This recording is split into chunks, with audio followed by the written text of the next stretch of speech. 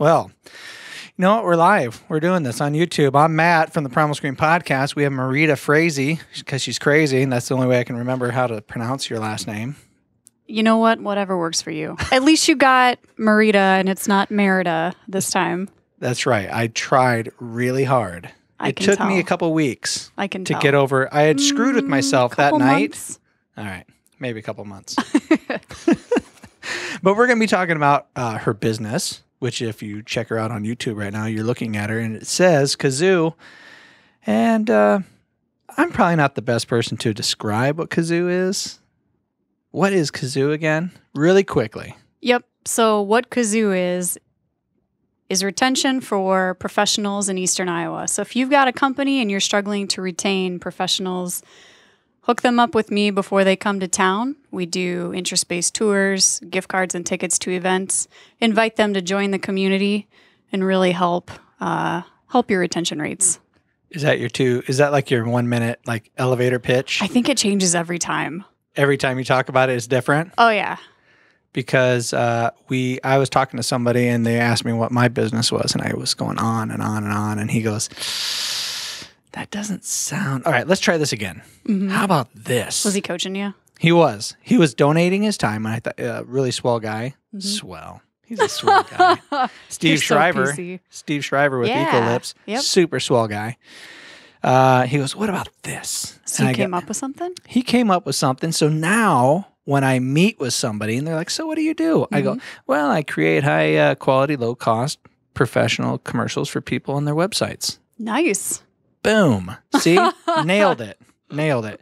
Uh, but tonight we will talk a little bit about your business, where you were from the last podcast, because you were going to, uh, what's that called again? So I was about to pitch, Pitch. at the CBJ Entrepreneurial Forum. CBJ. Mhm. All right. So what is the CBJ? So Corridor Business Journal. So Okay. if you drive on 380, you'll notice that on the east side of 380, closer to Coralville, there's a building being built. Mm-hmm. That's the new CBJ headquarters plug. Uh, for them, they they're not paying me, I promise. But anyway, so yeah, they they do all sorts of news stories in Eastern Iowa, stuff that's going on in the state, business related. Okay. I like to. There's a couple of guest columnists in there. They talk about um, how to make sales, how to retain employees, anything that you can think of. Like I said, related to business. I like to read it um, at the University of Iowa. I take some MBA classes well, of course you do. because it's free. So and I you're an can. overachiever, lady. you're you're you are an engineer, structural engineer, correct? Right. She works in a lab. Everybody, So I have an update for you on that. what? Uh huh. You're not going back down to Texas, are you? No, Okay. but I'm back full time as a manager. So half manager of an engineering team, half this thing called staffing focal. So now all of the retention initiatives that I really wanted to do for Rockwell, Yeah. That I- oh, don't. Are you are you Oh, going to promote? I you know what? Is this an Iowa thing, I'm- or is it a Cedar Rapids thing? It's just you. It's not me. that guy. I'll never let it go. That Marieda. guy. I'm like that chick on uh, Titanic. I'll never let you go. yeah. With the guy with the beard. Anyway, if you want to know what we're talking about, check out the other episode. Yeah, so I don't know if they kind of really caught wind of what I was doing and maybe they were worried I was going to leave or maybe they said, "Hey, we could use some more of this internally." Mm-hmm. Offered me this dream role. So now all those retention things I'm I can do internally now for Rockwell. So how does that affect Kazoo? So I'm more of the face, not Yeah. necessarily the hands. So as business leaders say, "Yep, I really want these services," they can Mhm. reach out to me, reach out to me. And I've got a slew of people that are just as passionate about this community as I am. And so those will be the people doing the interest-based tours. Hmm. hmm Hmm. Uh, you know, with your new position, hmm you know, it kind of falls in line with that new position. What falls in line with my new position? Well, there's leadership and self deception. oh, here we go. You know what? Uh, that was, let me see. I'm looking for the author. It's the Arbinger Institute. I should have brought it. You could So- have. You could have brought it. I was introduced uh, to this book in one of those classes I was taking Yeah. threw it out there in the last podcast. I'm excited to hear what you think you about challenged us. I did. I threw down that gauntlet. and who picked it up? Who was the only one? You know what? That surprises me because I totally thought I'm the bonehead. uh, that I'm you're the athletic dumb guy. You're just you're the argumentative guy. Yeah, you're the, you know, bully your friend who's sensitive and upset and going through, you know. Right. But you picked it up. I did. I was making sure that I was prepared for tonight. So you did a little homework. I did a little homework. I got the audiobook because my life's too busy and um, the audio version unabridged um, worked out better for me. Okay. Okay. Do So you- what is the bridged version? the unabridged? I don't I don't know what the bridged version the I would uh, imagine that the bridged version and I apologize to everybody watching us live on YouTube right now. Um, I've had to take over. If you didn't notice already, Todd's not here. Now Todd, we don't ever see Todd. We don't know who he is. I think he's on a special mission. For real? I Does he know Batman? I don't know. You know, there's there's a man that I work with. He likes to talk like Batman quite a bit. So is he at home in his pajamas secretly tuning in to this podcast right now? Todd. Well, I'm sorry, Todd. I no, or or, Or, the his other alter ego? His alter ego. I don't know. What I like to think of because you are a very important person and I value your time. Oh. I'd like to think Well, that thanks. there was an act of national security hmm and he had to be flown out to take care of something that was extremely important. That's what I choose to believe. Mhm. And luckily for him, I tried to remove myself from the box. Did you get in the box? Lady, you found out? I find myself in the box a lot. I bet you do. a lot. So, Which- and you could tell. Yeah, for sure. Yeah. For sure. Uh, actually, well, we're joking a little bit, but um, I did read, Marieda did throw down the gauntlet. She did ask me to read uh, Leadership and Self Deception, which I, like I said, I got the audiobook version. Let me just quickly uh, roll through the principles of this book because we're going to kind of sum it up. And I'd like to support some of the things that they talked about with some stories of my own. Mhm. And maybe you have some of your own. Do you actually use these or has it like gone the way of the dodo for you? N- Not completely the way of the dodo, but I don't find myself thinking, shit, I'm, I'm in, in the the box. box. Yeah. It'd be kind of funny if you did. If you- like if from this point forward, you kind of you go It'll- right, like you were in a funk hmm and you're like, oh shit. Matt would just laugh if he knew I was in the box right now. And then I'll text you, I'm in the box. you know you want me to now. Yeah, I mean, I I expect periodically throughout the day, I'm in the box. We'll get the fuck out of the box. Done. Done. but here are the principles. Uh, you know, this is kind of a new way of describing an old adage, which is treat someone uh, uh, the way you want to be treated, somewhat, Mhm. right? Because as soon as you start to judge somebody, as soon as, as soon as you start to look at them as if they're not a person, hmm An object. an object, hmm that's basically you've put yourself in this what they this book calls the box. Um, but these are the principles, and we'll talk about them. Principle number one: an act contrary to what I feel I should do for another. So, the example from the book is the author is laying there in bed, the baby's crying. He thinks Mhm. to himself, "You know, I should get up.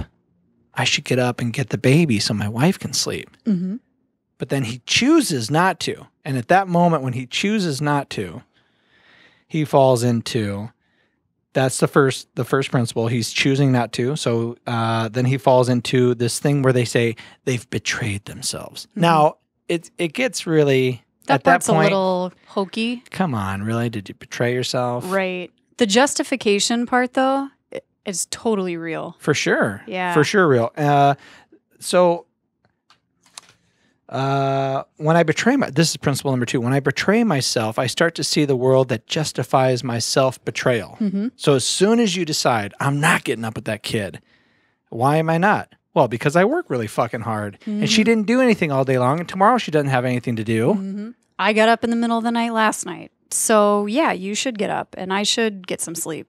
Right. Oh, Okay. yeah. All of a sudden you're in the box, Marieda. Oh yeah, and then and then you're both laying there getting angry at each other and this is such it's so relatable. Sure. We've got a year and a half old. There are nights when we're both just laying there. I'm not thinking I'm in the box. It's more like you're not getting in the box, but it's you just you know you're doing it and when you I feel like when you can tell that you're doing it, the book poses that that's how you can start to take yourself out. Right. Of the as soon as you start to, as soon as you acknowledge that you're not looking at somebody as a person, but an object Mhm. or a piece of machinery. Right. I was talking about that with um, somebody who was Joshua Colburn, who was just in here a few hours ago, oh really? about this because he's a motivational speaker. Mhm. And, uh, you know, reading this book, I, I quickly found myself relating to it in regards to I look at my children Mhm. as objects quickly, too quickly.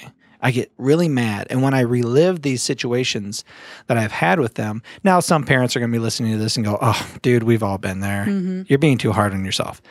But you're justifying you being in the box. You're Mhm. justifying, and you're not looking at the fact that this child is a human being. And if you were a little tiny child and you're looking up at this big giant Angry man. screaming at you, bald headed dude, uh, you would get really nervous. Mhm. And uh, so I was thinking about that. I thought about, you know, how do I view my co host, Mhm. Todd? How do I view my guests? Hey, they better be on time. What? They, they canceled?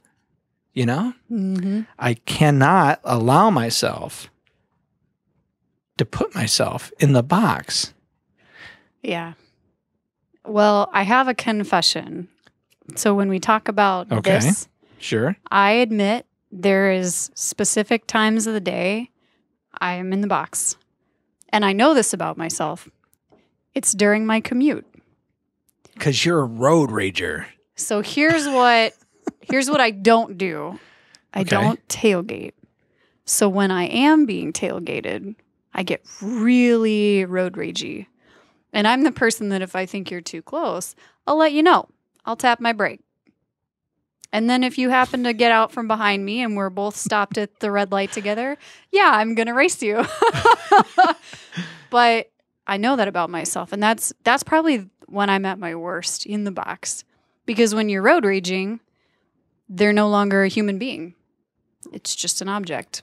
But do you find I found myself also thinking so completely relatable this book about my wife Mm-hmm. And our relationship. And I know the first example is about the kid, and obviously people are thinking about that, but the book is mostly about how do you interact Mm-hmm. with your coworkers, which is why I brought it up. Well, I kind of brought it up again because of your new position, Mm-hmm. right? How your interaction with so now this book doesn't say don't place yourself in the box. Once you get out, you'll never go back in. They're not saying that. Mm-hmm. They're not saying that you can never be harsh with somebody. Right.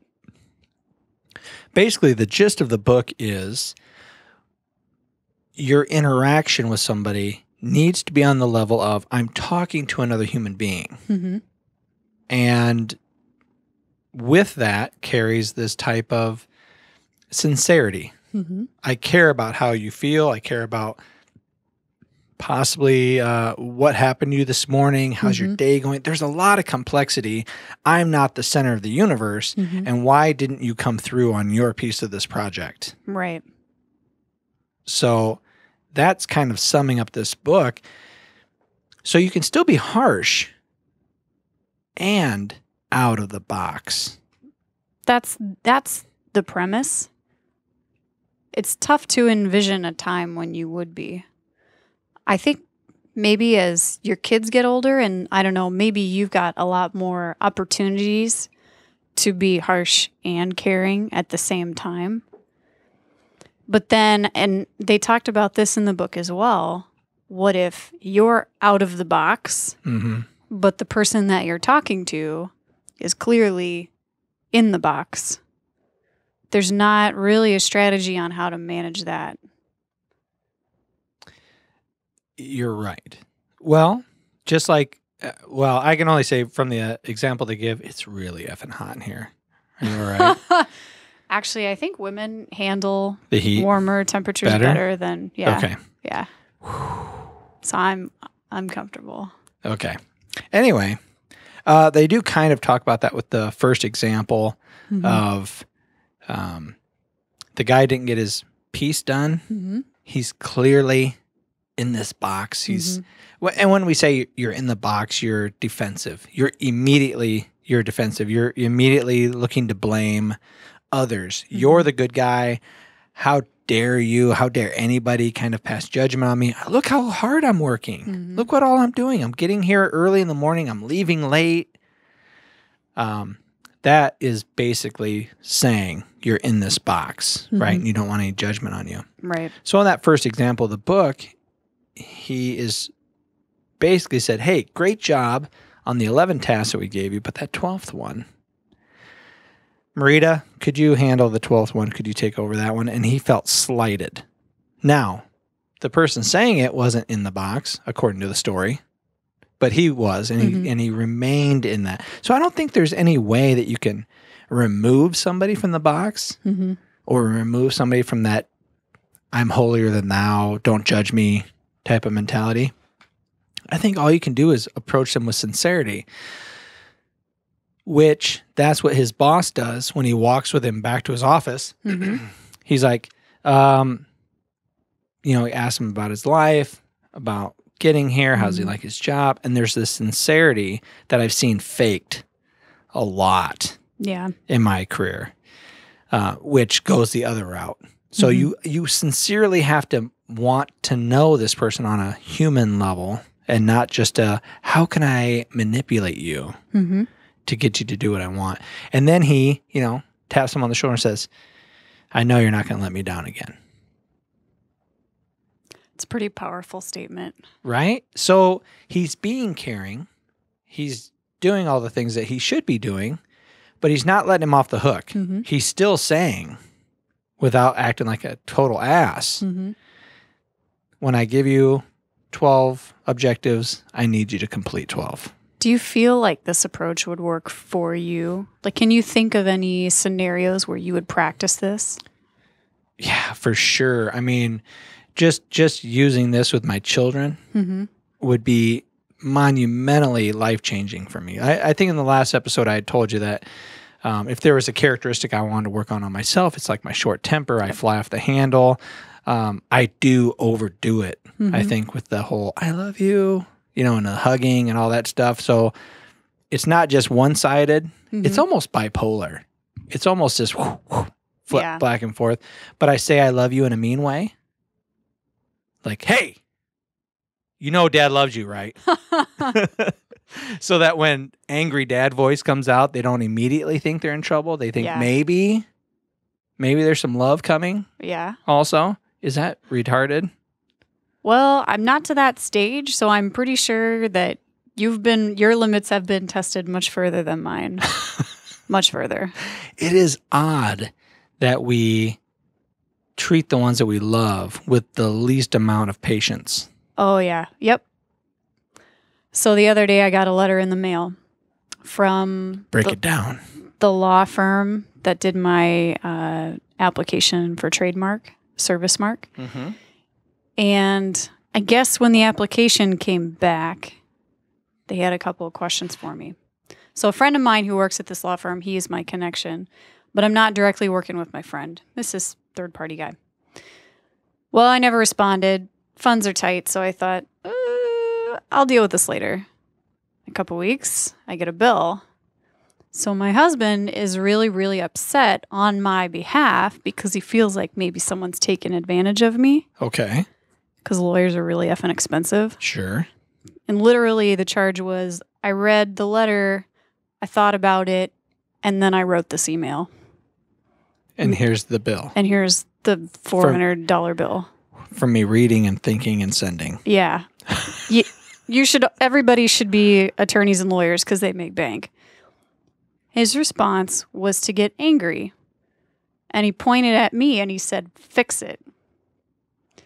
He wasn't angry at me, he was angry at them, but the response was a little convoluted. We ended up talking about it later and we came to the same conclusion. It's funny how we can get really upset with the ones that we love when that they're really not the cause of all of our emotions. Well, was he mad at you because there was a bill and you could have you could have and should have thought ahead on this and there shouldn't be a bill and hey, we don't have the money for this bill. It's because of you that we have this bill. Was was that part of why he was upset or was he simply mad because he hates lawyers? well, maybe a little column A, a little column B. he he thought that somebody was charging me, Mm-hmm. not charging me fairly, taking advantage of me, and charging. I mean, that's a significant amount of money, especially if you're just talking a startup. And so I think he's been pretty unplugged from the whole company, and so I think he sees stuff like that, and he doesn't know how to, doesn't really know how to handle that. So he just sees somebody that he thinks taking advantage of me and charging me money and he thinks I'm just going to pay it. Right. So his frustration is don't be naive, don't pay this. Go make what's right. Don't right. be a sucker. Yeah. Fix it. That's that's a total guy mentality, right? I- probably. Don't be a sucker. Fix it. I Yeah. can see my dad saying that, Yeah. and then him making a big deal, like like he's going to do something about it, and then you know you find out. So what'd you do? I just paid it. Uh-huh. Over t- over time you just yeah. But the lady's response, generally, the I shouldn't say generally. Well, maybe I should. Generally, not always now, Mhm. but generally, women are. I found my wife to be very relaxed.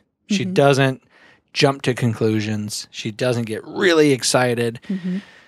Okay, well, let's let's look into this. Let's make a phone call. Let's Mhm. ask some questions. We'll figure it out Yep. um, before uh, before we go crazy, Mhm. we will know all the facts because, which I really appreciate. I at uh, in my past I have been a union rep Okay. and I, I've I've heard stories and I've dealt with union people who get really upset Mhm. because they've jumped to a conclusion. They don't have all the facts. They want me to submit a grievance. They want me to act right now, fix it, get it done. Mhm. And then I think the people that are unsuccessful in that position as a union steward, as a as a union president, is the people that just knee jerk react to a Mhm. complaint instead of going, you know what? That sounds like a terrible situation. I'm sorry you're in it. Let me contact that supervisor and I'll I'll look into it. And then I'll get back to you. So this was a role that you had. I still I still kind of have it. Still kind of yeah. have it. Must be going Count well if you're still with it. I'm an alternate steward. Yeah. So uh, some things hit me, Mm-hmm. but the the the culture that has been created where I work is is like uh, I, ideally, if you had an issue, you should go to your alternate steward, Mm-hmm. and then if I didn't have the answers or I couldn't deal with it or if I wasn't there, go to your steward, go up the chain of command, kind of right. Okay. If that steward didn't deal with it, and the president or whoever the is on shift, you know, maybe you could contact them to maybe deal with it. Um, but more often than not, what I see happen is people don't take the time because they want this instant fix. They want instant gratification. They want an instant answer mm-hmm. whether it's a whether it's a problem with their payroll, maybe it's a problem with uh, well with pay if they had to go to a, a funeral or something. Something odd happened. Maybe they put in for vacation, they didn't get it. Uh, maybe they weren't asked for overtime, but they now I want the answer now. So Hmm. if you don't knee jerk react, a lot of times they just like one or two times they might um they might interact with the steward. hmm Generally never the alternate steward where, where I'm at. So your role is really to help calm people down Yeah. and not propagate the excitement. Try not to. Right. Really try not to. It, and that's very difficult. It's difficult to try to manage people and not look like you have an ulterior motive. It's hard to manipulate people. it's hard to handle people Yeah. and not seem evil, like you're manipulating people. like, yeah, yeah, I hear you. we'll we'll deal with it. Right. And it's and it's difficult. It's difficult to not put forth that facial feature hmm that oh, This fuck. again. This I mean, outwardly, again. yeah, I might not be saying "oh fuck," But you're showing but I'm showing. I'm sure my face is like, "Oh fuck." really? Can you not go a whole day without bitching? Can you not go a whole shift without finding an issue? You know, if if there's not a lot going on and that's the only thing that you can think about, it consumes your mind. For sure. And then For sure. Oh yeah. Yeah. But you, lady, you're going to have to be dealing with things like that. Now, I forget, is Rockwell, does Rockwell have a union in it? Do you have to deal with union type issues in the managerial capacity? It depends what area you're working in. So we have union representation. Um, from my experience, we would work manufacturing and production, transition to production. So there's some folks there. Um, you know, from a non union perspective, I think, I'll tell you what I did this week. I snuck some uh, office furniture into my new office in the Wait a middle of the second. night. You're not going to be grieved for anything. You're not going to get in trouble. I mean, somebody else snuck on furniture. but it's kind of this dance of what do I need done? Does it need to be a ticketed to the union? And if it does, I mean, is this something that I can close my door and do myself? But when I when I first started at Rockwell, I was transporting equipment, didn't know any better, you know, new hire. Right. And uh, I think that's the closest I got to having a grievance filed against me. But it, it requires a little bit of education to know, you know, what we can do, what we can't do, you know, not taking somebody else's job away, that sort of thing. Right. And it's important, especially if the two groups are commingling. There's just different rules. Sure. But yeah, we do. We do have union representation. Um, I've worked, I've been on both sides of this fence, Mhm. right? I would love to be on top of the fence. I would like to be in like a different yard. Yeah, you're going to straddle it. I would love to straddle the fence, right? It's probably a picket fence, though, so watch out. Mm, be careful. as long as it doesn't have razor wire. True. So I've been on obviously the union side, hmm but I've also been on the managerial side. And I've had a plenty of grievances filed against me. Have you? A plenty. I would never have a guessed. ton. What? You were saying, Anyway, God. what I realized, what I was reminded of when I was reading the I shouldn't, I'm sorry, listening to the book because I didn't read it. hmm When I was re- uh, listening to this book, which is again leadership and self deception, get out of the box, was I always, I never removed myself from the box. It was immediate and always us versus them. You carried the box with you. I carried the box with me. I and and uh, you know from the examples of the book, I did do this whole thing of I, I I'm getting there early. I'm I'm leaving late. Mhm. I'm trying not to bitch and complain.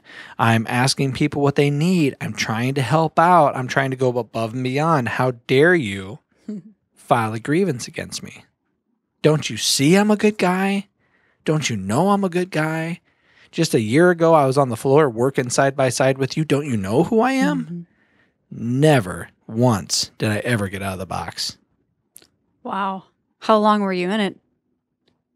Are you still in it? I was in I was in that position and I was in the box of self-deception for 3 solid years. It was the roughest, three years of my life, I'll never. I this is how I attribute it.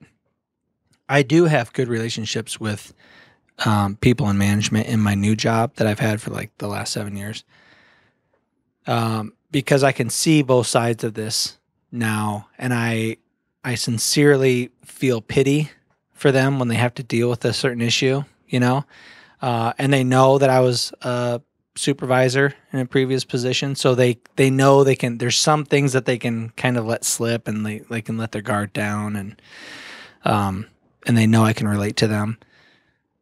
But this is how I say it to them. You know, when I looked at management, management, I thought that looks like an amazing roller coaster ride. I want to get on. Wee. Wee. and when I got off that fucking ride, uh, I'll never get back on it. It made me sick, Mhm. and I never want to get back on it. I never want to have to be responsible for managing people. Um, it's it's. I almost I look at it now. I would have to really see a good example. And in this audiobook, they're talking about great examples of management of people that are dealing well with other people. And it could just be that I've had my last two jobs, I was in a position where upper management was terrible to lower management. oh, that's too bad. I've never seen a good example. I've never seen a good example of it. I see, this is what I see. I see uh, lower management or middle management trying to make a judgment call, trying to do the right thing. They do it. Upper management comes down and goes, What are you doing?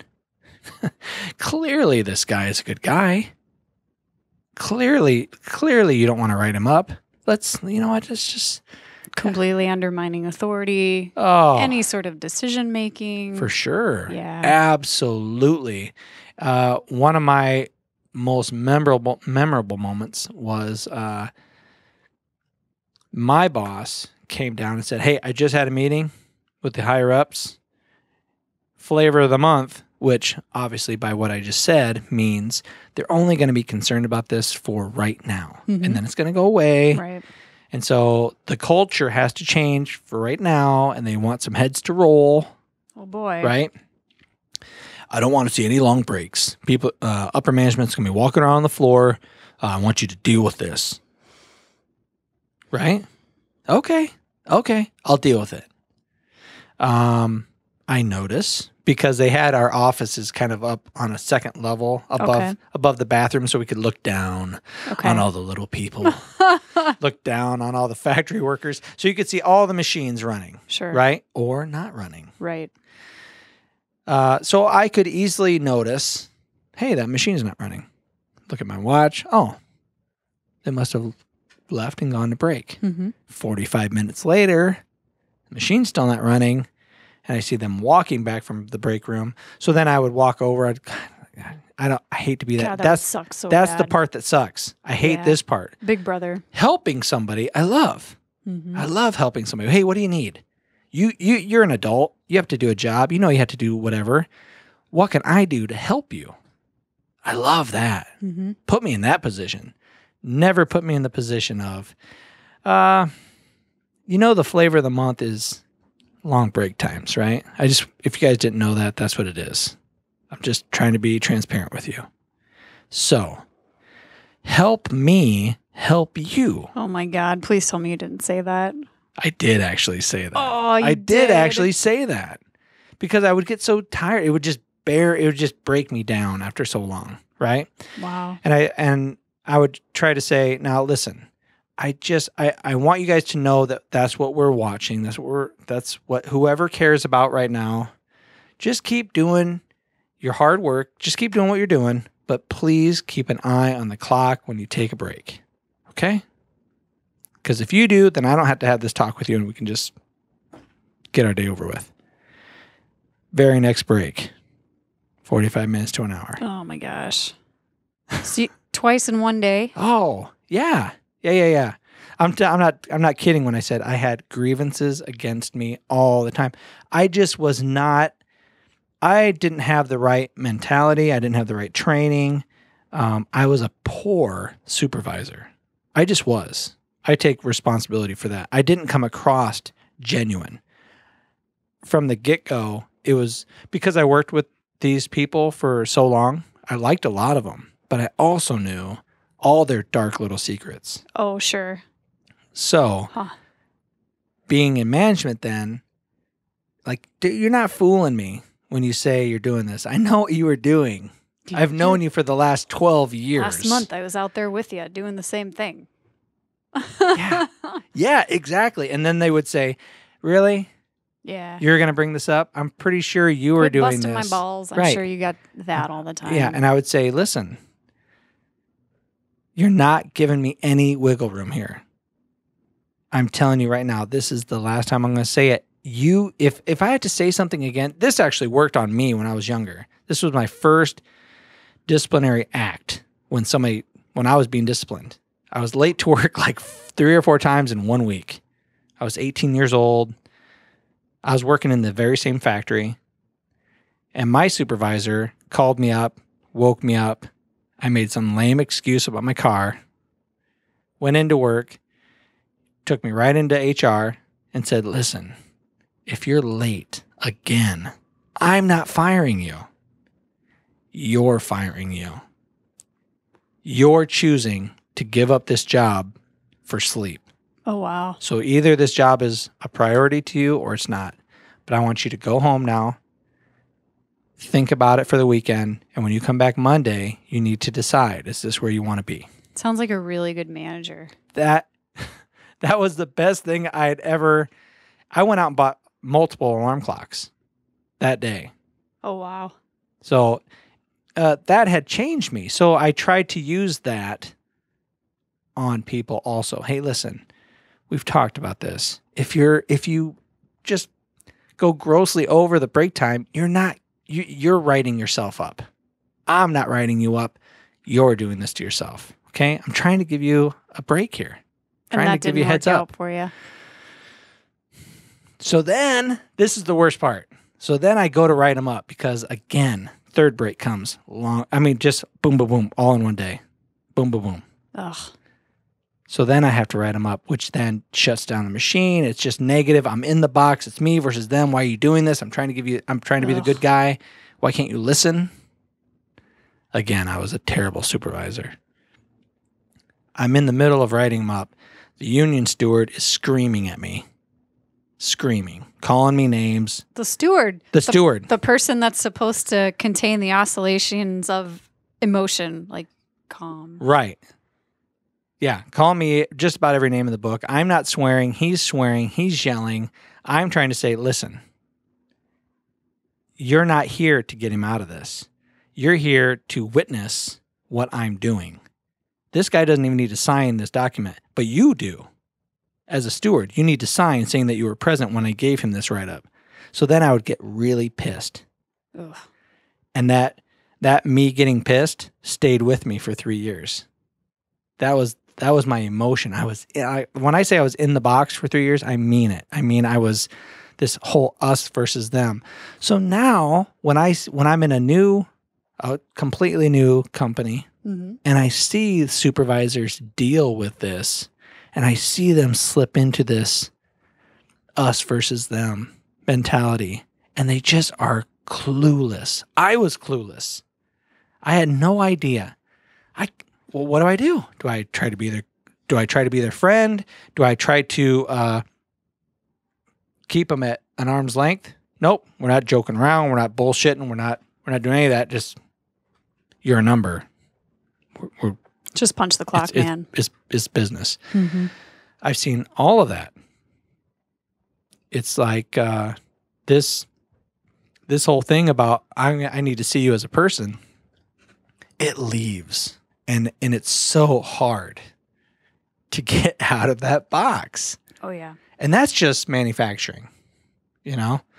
Um, thinking about my kids and and my and my wife and, and my friends and all this stuff. How now you took you read this book. Did you think it was foo foo? Did you think it was crazy when you first read it? No, I. Some people subscribe to this outright. Some people just kind of like you said think it's a whole bunch of hooey. Right. I read it and I try and figure out how I think it relates to my life. And you know, if you're married, um, you know how it feels to be at odds with somebody, like your best friend, essentially. Mm-hmm. And, you know, when I read it, I think there was something going on between us at the time. And it's like, oh, wow. I can definitely tell when I'm in the kitchen doing a chore and he's sitting on the couch. I'm getting in that box. So the second he comes into the kitchen to ask how my day is, well, how do you think my day is going right now? You know, it, you can just, you feel it. You can feel it. You can feel, and I did. And I, I identified oh my God, I'm reading about this and I'm doing it. And so it helped me kind of change my perspective.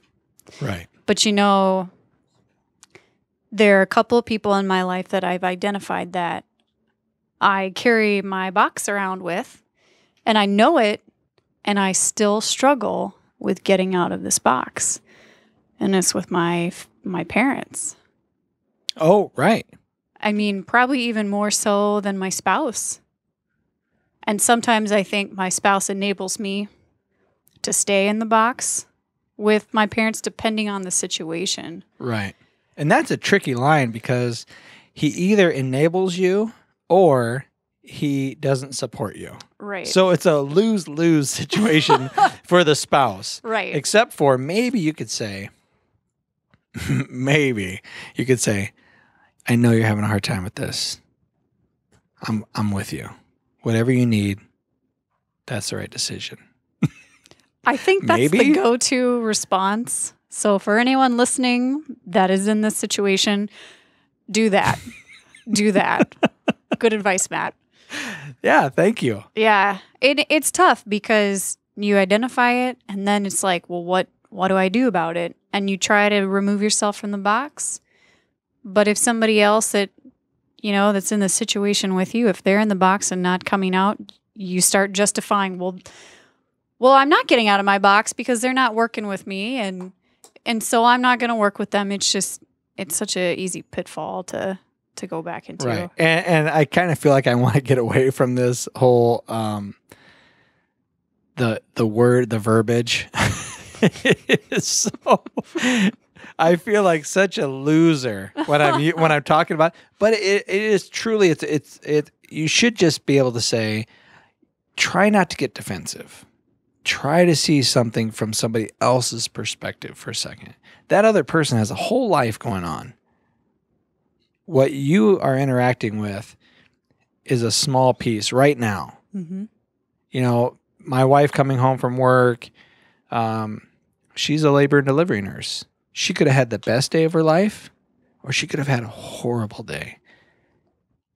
Interacting with women who have had demises, interacting with girls who've been raped, I can't even imagine. interacting with women who, no shit, this is an honest to God true story. She's watching the husband pop back and forth between two rooms Oh wow! because his mistress is also giving birth Really? and it comes out then. Oh That's when it comes out. So I bring that up only because when she calls and says, Hey, I'm going to be a little late, or if she's not home when I think she should be home, like a normal job. Hey, what do you work? You work seven to seven? All right, well then you should be home at seven fifteen, seven thirty. Yeah, I thought we were gonna have dinner together. Does this mean you don't want to have dinner with me? Am I having dinner on my own? Did I do something? You must expect me to be doing chores while you're not coming home on time. Oh yeah. Oh yeah, exactly. so, but but knowing that about her, uh, she was probably the first person I just said, whatever, whatever happens, happens. Uh, I'm not. When you get home, I'm not angry. You could get home at nine o'clock at night, and if you do, I know you're a superhero because you've chosen to stay and help. Maybe there wasn't enough nurses on staff. Maybe there was a horrible thing that was happening. Mhm. Um, but you could have you could have bailed. And she's in one of those jobs where that's possible. yeah, it's a life or death thing. Right. It's not I need to put out one more piece of that product Right. to put out, you I know. need to finish this report. right. Right. Yeah. You know, re uh, listening to this book uh, and thinking about our discussion tonight, I was thinking about how does this apply to all these different aspects of life? Okay? Mm-hmm. I started thinking about politics. Okay. I started thinking about gun rights activists, abortion activists, yeah. gay rights activists. I was thinking about all these things that we find ourselves so angry and passionate about. And I and I instantly think all of these people, both sides, are in this box. hmm Both sides. I haven't heard anybody say, well, I'm sure there have been people, but I haven't heard it in the media. Anybody say, you know what? I really thought about it from their point of view. And I'm sure they're coming from a place of love. I'm sure that to them, this is super important. You know what I mean? like you never hear that. this comes back to our topic about media when we talked the last time about Right. how media propagates fear. Yeah. You might have even called them terrorists. Maybe. Yeah. I've been known to say that. You know, if if somebody came out in politics and said, "Uh, "You know what? I think they're coming from a place of love," you might be torn apart. That's correct. So it's almost like because of that environment, everybody's afraid to be a human being. And the expectation is almost they have to be in that box. Right. They cannot be Differentiate. Right. Can you can you imagine? And and maybe we've had a couple politicians, but they haven't gone very far. What did you think of the the recent caucus? Did you get involved at all? Yeah, we did. I got really stressed out. so we uh so my husband and I went to the same facility. Okay, because you you actually caucused. We did. Wow. Tell me about the experience. Explain to those of us because Mhm. I've never done it. Okay. Explain to us what is the Iowa caucus? What do you do? So I've been to an Iowa caucus. By the way, funny names. Caucus. so I've been twice. The last time I went was 8 years ago. So 8 years ago I was at the Republican caucus, Ooh, you're one of them. and this week I was at the Democratic caucus. Shut your front door. I know. I'm totally an issues person. So I figure out which Shouldn't everybody be an issues person? Well- Isn't that what we all should be about instead of Yes. You know what? That label is all I care about. I just want that label in the office, and that label is Republican. I just want that label of Democrat in the office because they're going to make everything better. I you know what? I have to laugh at the campaign rhetoric that's like The promises. if you vote for that person, well he's just a loser. Don't vote for that loser. No, they didn't just straight oh out my say gosh. We're back in high school. I just hilarious. So, I'm an issues person. So, right. I wanted to. How dare you, by the way? I know, deal with it. So I wanted to support the issue that's important to me. So we show up and don't have childcare. So we took our daughter with us. Now, I don't mean I'm not bragging, but our daughter goes to bed at 6:30 at night. Okay. So when we showed up it, at the caucus, it was 6:30. So here's how it works for Democrats. So if you're a registered Democrat, you sign in, you go into a room. Depending on how many candidates, it's kind of like playing. I don't even remember the name the name of the game anymore. But you go to the corner of your candidate. So that's your horse. If you're not a registered Democrat, you sign up, um, and you don't have to sign up as a Democrat. You just have to say, "Hey, I'm here," because you're not on the list because you're not registered. I See- don't know. Why'd your camera go black, lady? Oh, did I break the camera? I don't want to say that you broke the camera, Oh, but uh hold on a second. Let me look at this. You know what? You just keep talking with this black screen. I'll get you worked up. you know what? Maybe somebody heard that we were talking politics and uh, hacked the system and decided to shut down my camera. Maybe they did do that. There oh, there you go. Hey, There's no memory card, by the way. There you go. cool. So yeah. Meanwhile, back at the ranch, Meanwhile, so you uh, show up in all of that was recorded. We still heard everything you said. Fantastic. Okay. So you go to your separate part of the room, Yes. and then people will count. All right, how many people are on each side? And then there's probably going to be a portion that uh, uh, are undecided. Mm-hmm. By the way, don't ever go to a caucus undecided. Do the rest of us a favor. Please figure out what you like, who you support before you go there. Don't put yourself in the box. There's I'm a whole reason. The whole reason for the caucus, and educate me if I'm wrong, is to ask these questions and for people to persuade others. But it's about me. It's about me and wanting to go clearly home. she's in the box. Everybody, clearly, So there we are with my daughter, and Right, uh, which who's is a not stress. going to bed. that's a stressor, right? You've introduced a stressor. You know, Yep. this is gonna be a late night. Yep. Oh yeah. I wasn't really sure how late, and thank God we weren't at one of the precincts that had thousands of people and line out the door. Thank God. Right. So we had our 130 people, however many were there, and they counted probably like eight times. So they do the counting. Then, yes, people will go and convince your undecideds, and then they go to other parts of the room. Everybody claps. they count eight more times. is that annoying when they all clap? It's Uh, like, come on, get over yourself. You know what? Every time they clapped, I started singing, uh, If you're happy and you know What, clap your hands. Because my daughter would clap, and that's a lot of fun. oh, okay. Yeah, and because you had to entertain your daughter. Sure. So she's running around, and at one point, the guy who's counting Yeah. sees me moving 10 feet, chasing my daughter. So he stops, Yes. as if I, I'm one of many people that are moving, which is not. I'm the only one moving. He goes, Excuse me, people. Can you please stop moving? Like, looking at this guy and giving him the look of death. I know you mean me. Just say me. so I pick up my daughter, like, okay, I, I'm holding still. So he starts the counting again. And I made sure to give him a very angry 11 when he's going through and counting. But um, it's chaotic. So if you were to go to a caucus as a Republican, um, Is it you, different? Is it different? It's different. Shut up. Why is totally it different? I don't know. If you have OCD, just go and caucus Republican. Everybody sits in a nice, orderly fashion. You get a piece of paper. People calmly walk up to a microphone. They say, I'd like to talk about Carly Fiorina, and this is why I believe in her. And she's doing this, and she's got this going on. right? Okay. You know, everybody gets their turn. I think even family members uh, stood up and talked on behalf of Trump, Cruz, what have you, Rubio. And uh, of course, I don't think too many of those folks were here. Most of them were in Des Moines. But yeah, so at the end of these conversations, they, I don't know if they ring a bell, I can't remember, but you write a name, secret ballot, and then put it in the thing. There's no pressure.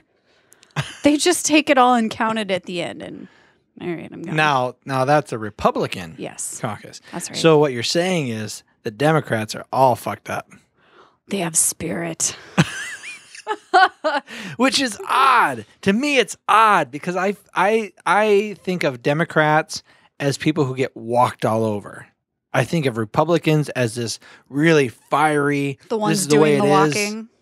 Yeah, um, I don't know. but I- that's not what you saw. That's not how you felt. it's uh it's just an event where people who are all about the same issues are showing up. And it, you know what? It's kind of neat. I will say that when you walk into a room of hundreds of people Okay. that you've never met before, Mhm. just knowing that you're all there for the same reason and maybe even there's people there that are just as passionate if not more passionate than you about the things that you want to happen in the Yeah. country Right. i don't know it's kind of a weird old crotchety adult emotion when you're just like this is cool Yeah. This, is, cool This is patriotism. yeah This is America. America. No, no. This isn't America. It's America. i can't say it like that America. nicely done Thank you. yeah Uh, it was it's totally that America feeling it was great but it was stressful i don't think it'll be stressful when my Well, maybe maybe you should think ahead. Maybe you should know when the caucus is going to happen, and if it means that much to you, you get a babysitter. You're in the box Maybe. You know, my go to babysitter is a young lady. And who am I to say, hey, you know, if you want a caucus, too bad, watch my kid. So, you know, that's how I justified it. Really? Yeah. I was kind of curious to see how she'd do anyway, but but yeah, so if you have some place to be, if you have a schedule on the night of a caucus, you just prepare to get stressed out. So, uh, Look at this. what you got going on over there? Something that you took out of the wall? It's called thinking ahead. Oh, It's also called troubleshooting, and um, you would appreciate this as an engineer. Maybe I don't fucking know. For whatever reason, these cameras that we're using, if you leave them plugged in, hmm they get this weird. They trip out. They trip out and they go all Japanese on me. They they show they start showing Japanese like commercially things. Like Really? uh, almost like a screensaver, right? huh? So they only work well on battery power. At least this one over here does. So is it starting to go Japanese on you? It was. It was. Yeah. I had I had to plug it in because you went dark, right? Yeah. So I turn I plugged it in. I I have this power to it. it got crazy and I'm like, oh, oh shit. I better I better plug it back in. Well then it went weird and I You know why this is happening? Because it's your first live night on YouTube. Everything goes wrong first time, man. Murphy's Law. So I, I would attribute the hot temperature to that. Your camera's going berserk. Good old Murphy's Law. How's it working there, Chief? I don't know, did it come up? I see me. Do you? I don't see you on the camera. I see me on the uh, on the screen, on the viewfinder. Plugging in HDMI. Let's see how it goes. super super interesting podcast when people are troubleshooting their equipment right? The caucus craziness. Is craziness.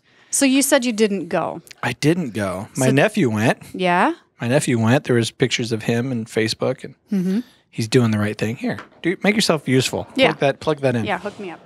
plug that in back there.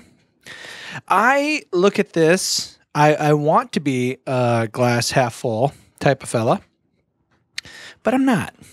I'm just not i find myself in the box and i think it is a silly thing that we continue to do which is caucus spend your whole night get you emotionally invested Mm-hmm.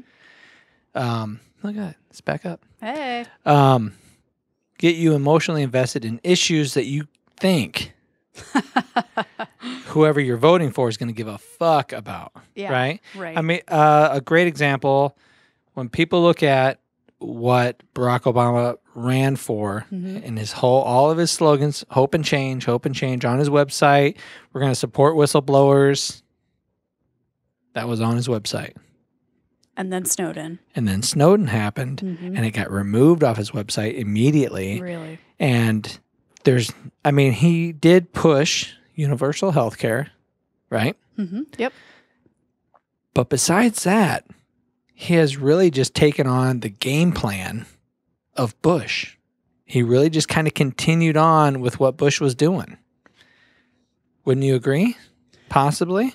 I, I don't see him actually following through with the whole hope and change, the Mhm. transparency of government type thing.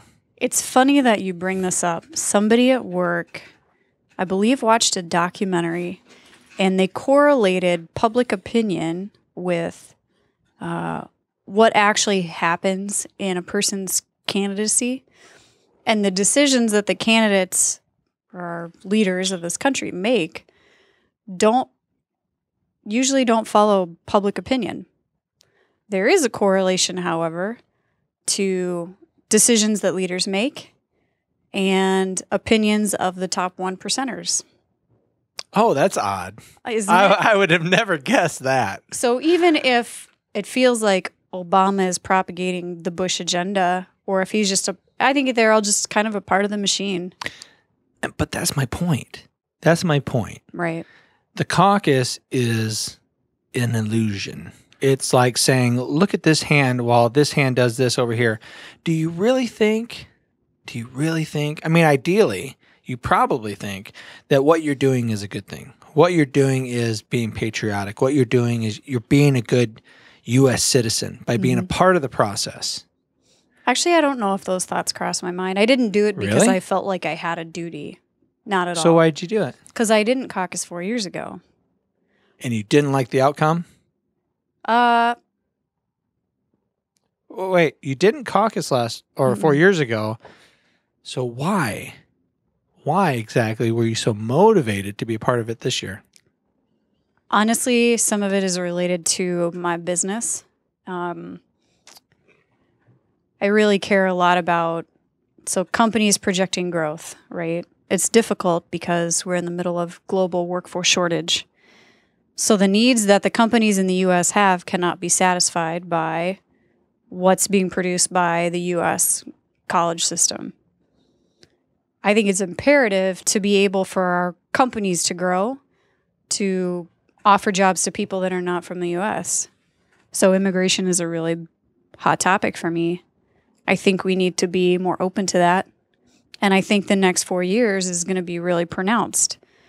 As baby boomers are retiring, it's just, it's going to be huge. So it- it was important to me to feel like I made my voice heard. Now, mm-hmm.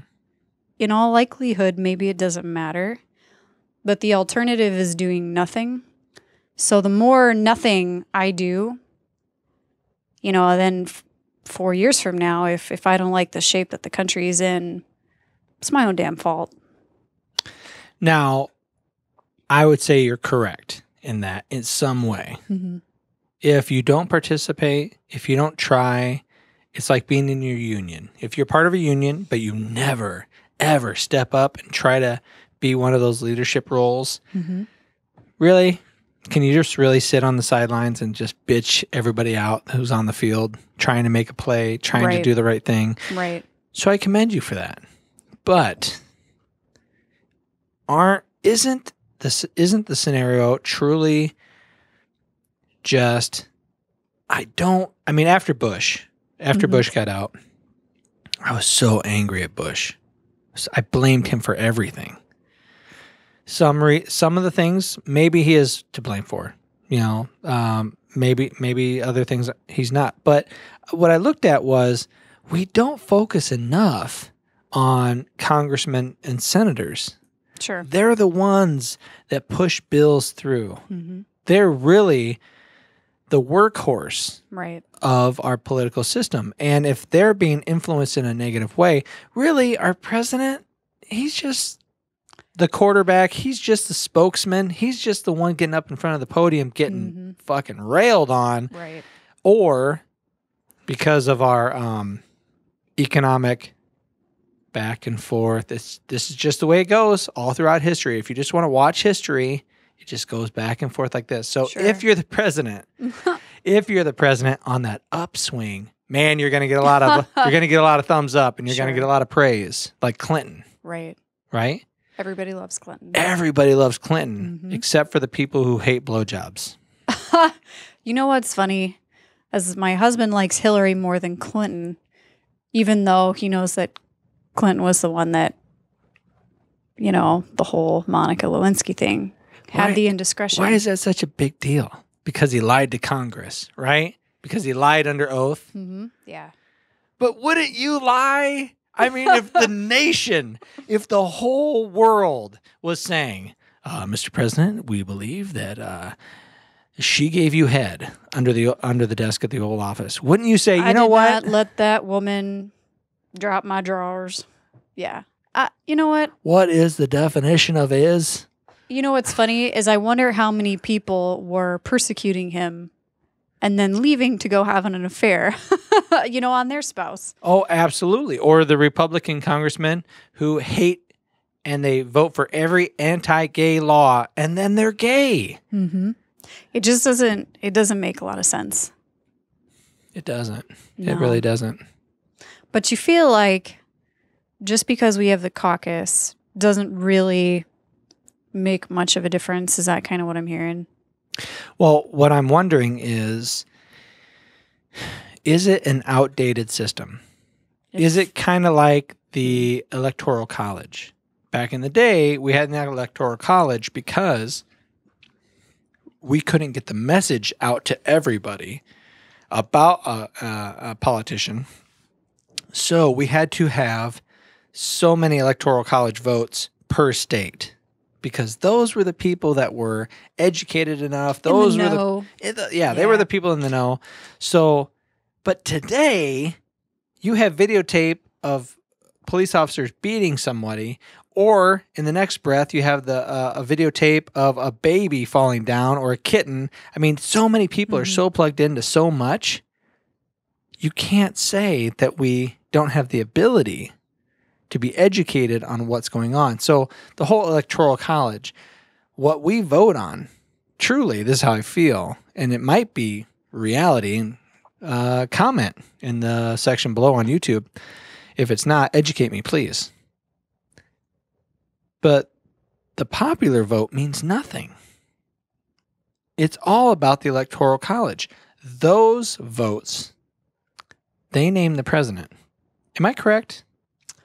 As far as you know, So that's my understanding. I've always thought that the public opinion drove some of the electoral college stuff, but I'm not entirely sure how that works. I, me neither. I'm not entirely sure. It's been a long But it time still since comes down to- history. That person, he or she, whoever has the power Right. of saying, that's my vote. right. So then when you're thinking of that, you're like, well, shit, if the pop if if the popular vote doesn't matter, if Right. my one vote doesn't matter, why would I caucus? Why would I caucus if the person that I'm hoping is going to do something it's just talk. And they're just going to play their role when they get there, just like Obama did. hmm He's just going to play his role. Maybe he knows things that are national secrets that they don't want us to know, and he has to play that role. Maybe. I would like to think that there's a soul Right. in these people who become presidents, and they're really, truly trying to do the right thing. I want to think that. But it's hard to right. when you hear about things saying, well, the Congress asked uh, the Federal Reserve for their memos, and all the Federal Reserve memos were blanked out, blacked out. What's that called when you? I think you said it right. Blacked out. So if the Federal Reserve is not held to the Congress, if the Federal Reserve is like, no, you're not supposed to know that stuff. Wait a second. I'm pretty sure you're just a business. You're not anything federal. hmm Even though federal's in your name, you're just a bank. Yeah. So, what exactly gives you the power to say to your dad, since you're the, you're supposed to be the kid, Right. what gives you the power to say to your dad or your parents, no, no, you really, you really shouldn't know these things, There's probably, gosh, there's probably so much we don't even know about. right? But it's that, it's that, stu- it's the stuff that they don't say Right. that makes you question everything. Yeah. It's like if you were just open, tell us how bad it is truly. Tell it really just let it all out and then I know. I know why we're doing this. I Mhm. understand it. I can wrap my head around it. Or I just don't trust anybody, which is where I fall. I don't trust anybody. I've fallen between two candidates that I might vote for. hmm Would you like to know who I'm going to vote for? You can share that if you want. All right. Right now, I'm there's a toss up between Bernie Sanders hmm and for all you haters out there, go ahead right now, just go boo. Oh, wait. Or Donald Trump. okay. And for all you Donald Trump haters, go ahead and do their thing now. But here's why. Here's why those two. Okay. I don't really give a shit about Hillary. I mean, yes, for sure, I would love to see a female president. I, w- I, I would love to see the opportunity to be able to go out to anybody, right? Uh, but I'm not going to vote for her because she's a woman or against her because she's a woman, but because I think she's just that clone. She's just a political clone, right? Mhm. She just she knows how to work the system. She's Right. been in the system so long, she knows what to do. So I don't trust her, right? I don't necessarily trust Bernie hmm Sanders either, but he has a he has that kind of that resonance of hope and change hmm right? And I really got behind that whole hope and change. Like, oh, Yes, finally, is somebody, what I need. something finally is going to change. Yeah. And it didn't change, right? Yeah. So if it's not that, it's not him. I kind of like Trump, and here's why. Trump is a fucking nut. He's a nut. He he doesn't fall in line with anybody. He's Mhm. going to say what is on his mind. yeah. And of yes, of course, he his opinion is uh, swayed by whoever, by by probably the upper one percent, by business, hmm right? Sure. But he's also willing to say unpopular things. And I'm sure, I'm sure of this. If he wanted something passed, and there were some silly little bastards in the Senate or in the Congress Yeah. that were they wanted to play their little political games. uh huh. I I 100% feel like Trump would have no problem saying every night I will be on national TV. Every night I will bring up this person, this person. I will call them out and say, why aren't you giving the rescue workers of 9 11 health care? You know what I'm saying? yeah. Yeah. Jon Stewart did that. really. When Jon Stewart did that, the Congress and the Senate fucking sat on it forever. They weren't going to pass it. Hmm. Jon Stewart had the audience. He had rescue workers on. They told their story. And he basically got, because he had a huge audience, because he wasn't afraid to say it, it got passed within the week. And that's what it takes to get something passed in our country. You don't even have to be president. So that's why I think maybe Donald Trump. Does he say things that are inflammatory? Yes. D- does he have some kooky ideas? Sure. Does he want to build a huge wall? I guess. Would it be the the worst thing in the whole world to build a wall? I don't fucking know. I'm thinking maybe the worst thing in the whole world would be to continue our war on drugs. To continue a war, le- uh, actual war, because they classify it as war. Because they classify it as war, they can do things inside the perimeter of the United States that they wouldn't be able to do if there wasn't a war going on inside the United States. Is that why they term it that? I don't know. You have a war on terror. Mm-hmm.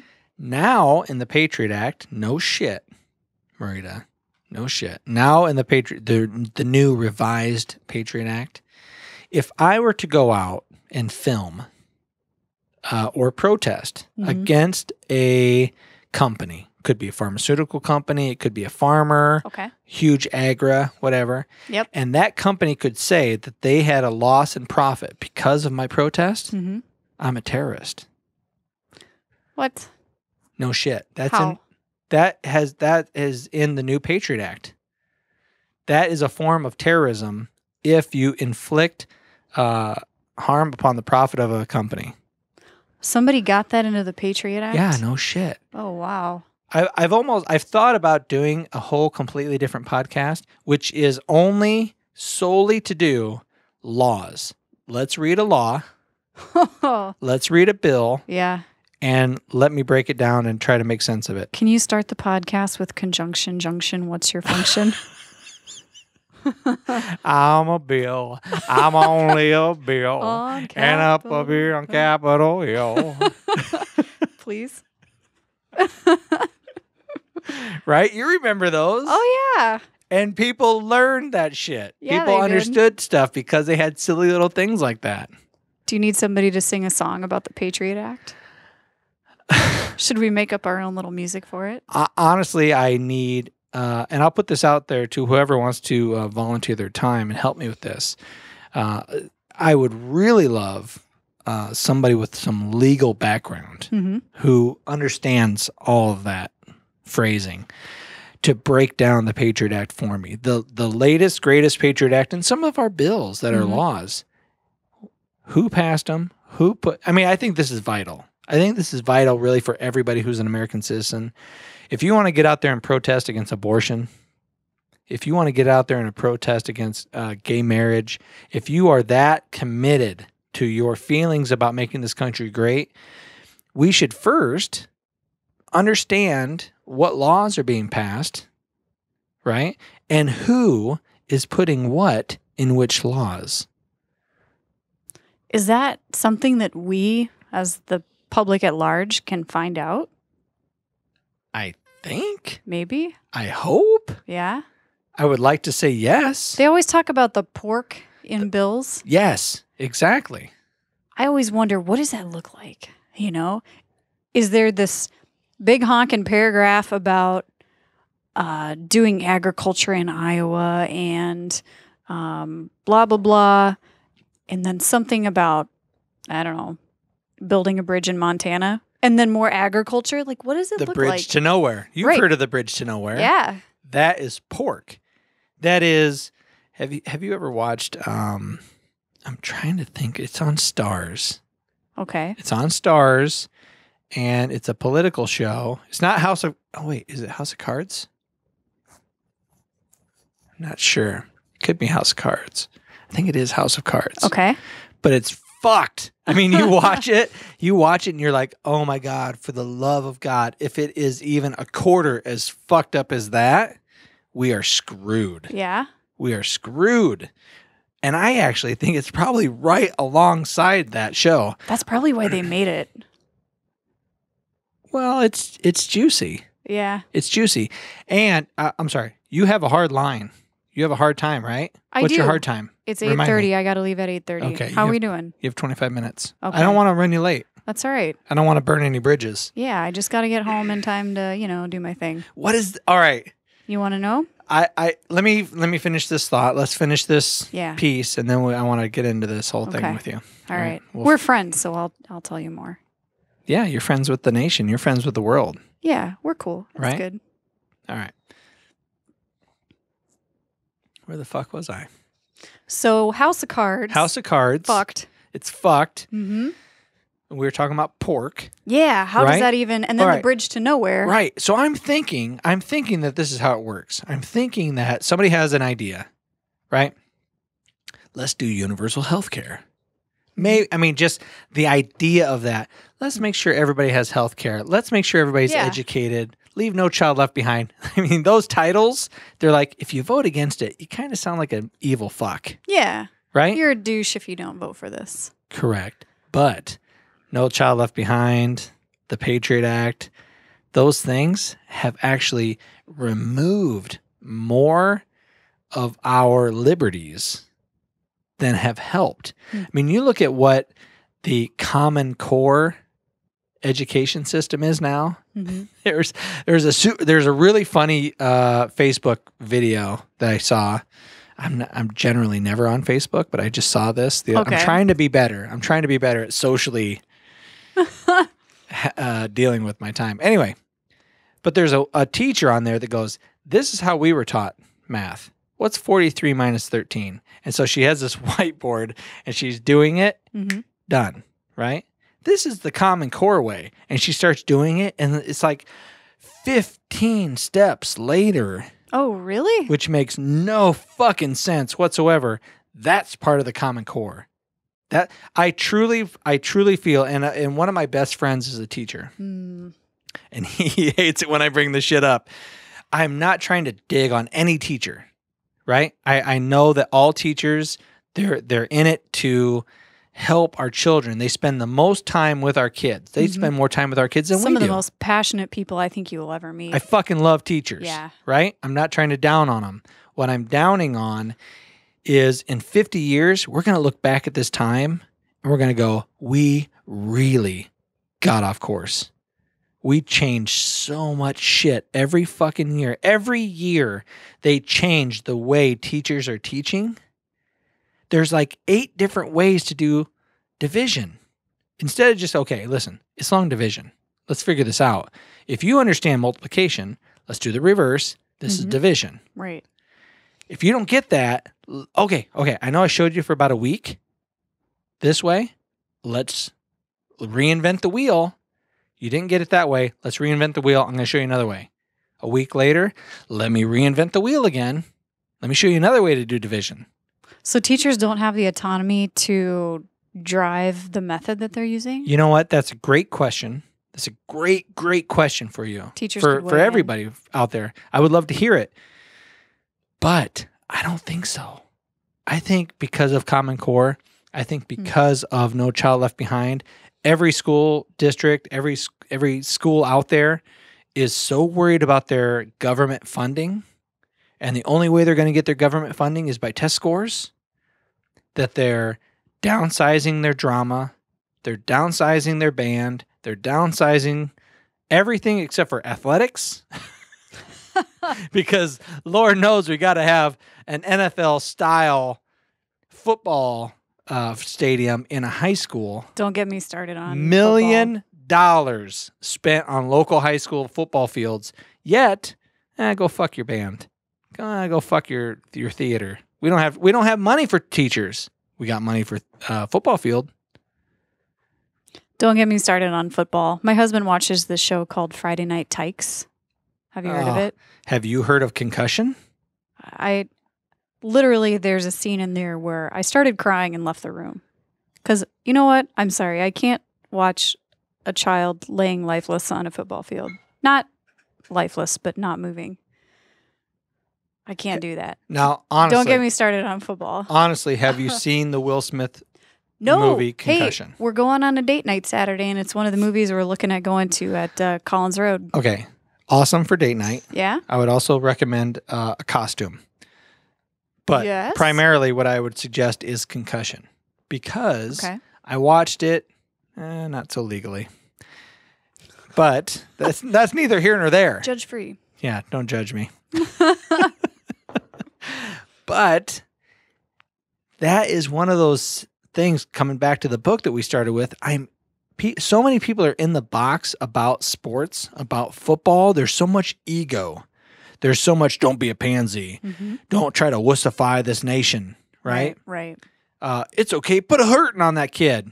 It's such a divi- There's no clearer. I, I I don't have any love of football. I, I don't have a team. Mhm. My kids have a team. Yeah. my kids tell me all about players. They Yeah. educate me. All my friends tease me. I don't give a fuck. But I the, the I I I don't like it. I just don't like football. I don't like the money that goes into it. I don't like how horrible professional athletes act anymore back in the day like I, I think about um like in the 1980s was probably the last time i really cared about like i had idols like jordan hmm you know back that during that time the the super bowl shuffle with the bears Yeah. you know that era i enjoyed but i was a kid i was a child but as an adult you watch this stuff and it it's almost like you need to have a disclaimer at the beginning it's almost as bad as cigarettes i feel when you watch a football game when people join little league football Mhm. or high school football or whatever. You should have it on your helmet. By the way, every single time you make contact, you're damaging your brain. And it is not a wussy thing. It is a scientifically proven thing that can be uh, uh, measured. You can see it, but you can't see it until you're dead. Right. And it's compounding. Yes. And the younger you are, the worse it is because So when you see those little kids get Oh knocked the fuck out. Oh my god. I can't handle it. They're not as fully developed, right? So their necks are weak. The their heads are a little bit bigger. They don't know, you know, if you think of football and you think of, you know, don't drop your head, keep your head up. Right. Well, you know what? Sometimes they're scared and they want to close their eyes and tuck their head and then they start crying and you should see these coaches just yell at these poor kids. yeah. I just and the the parents are sitting there watching their kids go through all this. Uh anything but football. yes. And maybe not yes rugby. and no. Uh, yeah, rugby pretty, pretty fucking rough too, right? Um, like my kid, one of my sons wrestled this year. It Mhm. was his second time in three years. He, Does that get pretty rough he too? took some time off. Uh, sure. It. I think. I think wrestling. I think putting hands on your son, you know, and just kind of being rough a little bit. Mhm. I think that is an. I think that's one of the most natural things that you can do. I mean, when you embrace somebody, when you hug somebody, there's this weird, awesome feeling, right? And wrestling kind of gives you that, especially if you're doing it with your dad, Mhm. you know, and you know he's not out to hurt you, Yeah. right? But then when you get out there and you watch your son wrestle, and he starts. He, there's so much pressure. There's so much anxiety. Kids are dressed.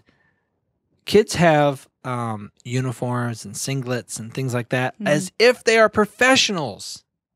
Instead of saying, "Let you know what? Let's focus. Let's focus on technique. Mm-hmm. Let's focus on um, team uh, building. Mm-hmm.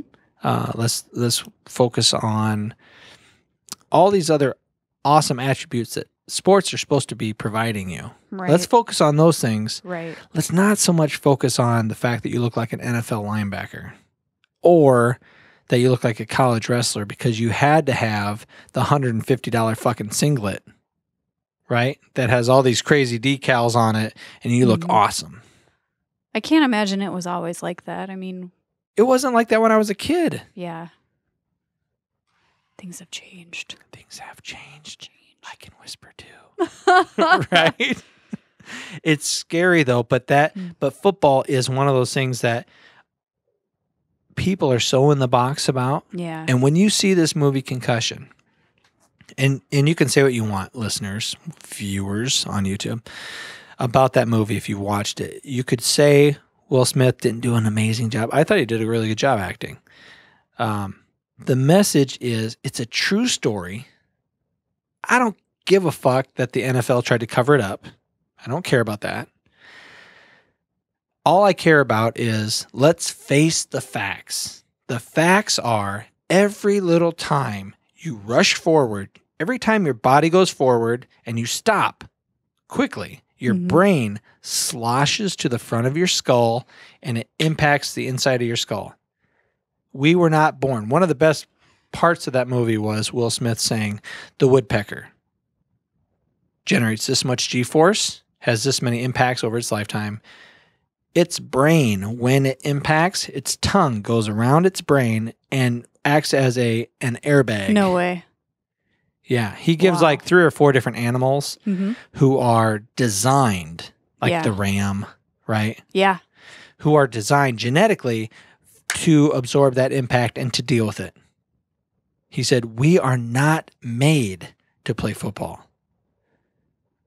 Period. So whether you're a, a center, every single play, even though it's not a big like concussion, Mhm. uh, getting tackled, uh, the center, a lineman, the guard, whatever. Uh, every time you quickly move forward and then you collide with somebody, that's an impact. Right. That's a scar. And the way Will Smith describes it and that doctor describes it is you're being choked. You're being choked from the inside out. Hmm. Every collision is a scar. Whew. Wow. Yeah. I won't let my kids play football. Does that mean that they're never going to get a head injury? No. Does that ever mean that they're not going to dive off a diving board, hit water, which means that their brain's going to slosh to the front? No. Uh, are they going to play soccer? Sure. They're going to head the ball. That causes brain. You can't. You can't bubble wrap your kids for the whole world. Sure. I just don't have to support one of the worst versions, which is football. Right. So I would recommend seeing that. And maybe your Okay. husband would have a different feeling. You would have to really encourage him to get out of his box. Well, we'll either watch that or we'll watch the lesbian movie, one or the other. I'd go with the lesbian movie. Yeah, wait, wait, what? I'm sorry. What was What are you talking about? What what's this other movie? Carol. It's it's a married woman who falls in love with a younger lady who I think works at a department store, and it's kind of the story of them realizing things and and then the husband uh, tells the wife, you know, if this is what you're choosing, then you'll never see your daughter again. So then she has to basically leave the person that she truly loves in order to to stay united with her daughter. Is, is that supposed to be like a feel good movie? I'm probably supposed to go to that with girlfriends, but I think my husband's a little intrigued. um, Yeah. No. Uh, do you know who the main actors and actresses are? Oh, I'm terrible with names. I'm terrible with names. I'm there with you. So Y- no, I've seen the lead actress, the the wife, Okay. but I I can't. I think that is like a huge push in movies anymore. Like I, I was watching all these movies that are up for Academy Awards Mhm. or whatever, and uh, there's a ton of transgender movies Mhm. out there. Uh, the gay and lesbian movies are out. Mhm. I, I don't have anything against that. I think it's whatever, fine, that's great. If it's a good movie, it's a good movie. If it's a good story, it's a good story. I don't care. Right. Um, Yeah, I guess that the Carol movie's up for quite a few awards. M- The Martian is playing right now. Um, Oh, Matt Damon. Martian. Did you see that? I've heard good things. maybe, maybe Oh, not so legally. Okay, right. Judge. But it is a great. Is it good? This is the Judge Freeze. We're in the nest. We're We in are. the tree of trust yeah. in here. Yeah. so yeah, I did see The Martian. okay. Great movie. Yeah. Great movie. Okay. Obviously not uh, based on history, Okay. but pretty cool. Okay. Pretty cool movie. We like to watch all those movies that are up for awards. Oh, you're, yeah. you're that person. Well, we like we like. you go to see a movie if somebody else says it's good. Now that we have, well, well maybe You're a follower. That's now that we have a kid, uh, we do less of the moving watching. Because then, not only are you going to the theater to pay for the ticket, you're paying for the babysitter too. So going to a movie sure. as an adult couple with children is very expensive if the children. Do you want a home. website? Do I want a web? Just, I mean, la la la la. I, la, I watch. I watch. There's there's a certain financial line, Mhm. right? There's a certain piece of reality that we all want to say doesn't exist. Yeah. It fucking exists. I can't afford to go see every single movie, and I'm too fucking impatient because I'm an American Yeah. and I want instant gratification right now. Well, I tell you what, I believe in stimulating the economy, and the way that I can do that is by paying other people to do things. Oh, you're such a good person. Yeah, something We're gonna wrap this up so that you're out of here on a hard 8:30. cool. Thank you for coming back in. Thanks for having me. Truly appreciate you being here, taking the time away from your young one, away from Mister Freese. Mm-hmm. What is his first name anyway? Nick, Nick. So when I see Nick, I can be like, Nick, that's right. dude. Thank you so much for allowing your wife. Thank you for, for being so supportive and not giving her a hard time that she's getting drunk with some guy you don't know. Which tonight she wasn't, Nick. Right? I'll tell you, he's It was all water. the last time I came home was like eleven o'clock because after the podcast we, all s- we talked. sat and talked, right? yeah, you know he's not the guy that's like, where were you? Who were you with? No, he was in bed asleep. I like this guy already. yeah, He's a realist. He had to deal with the baby. yeah. Am I going to stay up and freak out about my lady being out? Or am I going to get some sleep? Because fuck, I'm going to probably have to get up Yeah. because she's going to stay asleep tonight and I'm going to be in my box. Anyway, like you know our routine. right, yeah. Anyway, I would uh, suggest to anybody who wants to be slightly better person, maybe, I don't know. It's a constant ongoing thing to remind yourself that you're dealing with other people. They have a whole life that they're dealing with. You're not the center of the universe. I would suggest picking up leadership and self-deception and read it. Don't get the audiobook. Oh, I was going to say, or listen. Well, you could listen, but if you're somebody like me and you just can't take rainbows getting blown up people's asses, it you know, you can read a book and go, you can put your own kind of feeling to it and Mhm. you're like, "Hey, that makes a lot of sense." But when you listen to a book, you have to listen to the author or you have to listen to the voiceover actor who's talking like this. and can you really take this for an entire 5 hours? Oh my gosh, that's amazing. You should be the audiobook reader. Uh, you know what? Which reminds me, that'll be a part of our new part of our company. If you go to TPSP Productions, go to tpspproductions.com. I don't have the slide up here. You can just have to listen to me. But go to tpspproductions.com. You can see the different things that we're doing there. Uh, we are doing, by the way, podcasts. Multiple podcasts. We're having comedians come in. We have uh, Jackie Live is a new podcast. We have some um, Joshua Coburn. I'm really excited about that. I'm going to be co-hosting with Joshua and my buddy Cy.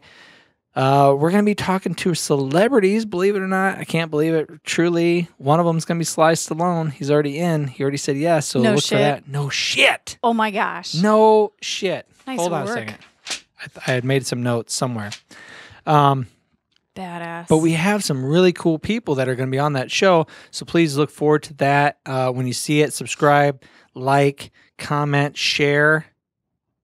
And I hope you're doing all that stuff with this podcast. Share it with your friends and family. Uh, you can follow us on YouTube and Facebook and Twitter, which we don't really do that great of a job, but we're going to really try harder.